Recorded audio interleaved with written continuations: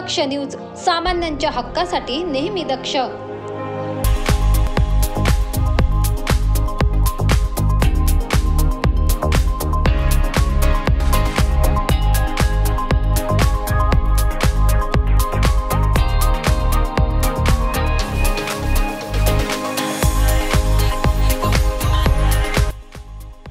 वणी ग्रामपंचायतची एकोणवीस सप्टेंबरला मतमोजणी होऊन सरपंचपदी मधुकर भरसट निवडून आले. आज दिनांक तीन ऑक्टोबरला उपसरपंच पदाची निवडणूक होती. त्यासाठी विलास कड व राजश्री पारख आणि राकेश थोरात यांनी अर्ज दाखल केले होते. परंतु त्यांनी निवडणुकीतून माघार घेतल्याने विलास कड यांची उपसरपंचपदी निवड झाल्याचे घोषित करण्यात आले. निवडणूक निरीक्षक कृषी विभागाचे पी एस पाटील यांनी कामकाज पाहिले. या प्रसंगी सरपंच मधुकर भरसट व नवनिर्वांचित विलास कड यांचा सर्व सदस्यांच्या वतीने सत्कार करण्यात आला.